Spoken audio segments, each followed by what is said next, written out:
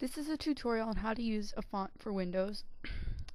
the MySpace is www.myspace.com slash secondchance underscore x3. Okay, so there are the two files. You right click it and press extract all. Then that comes up, you press next, make sure it's selected for your desktop, next, and there's the file. It opens, there it is, whatever. Go to start, control panel,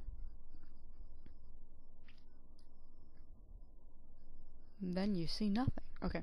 Then if it looks like this, wait, there. Okay, if it looks like that, just press switch to classic view. Then it looks like that. Then you double click fonts.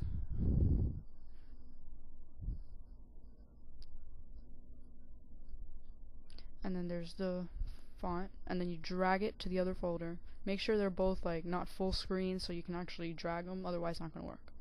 Then here it's loading them like loading the font into the thing and then you are done.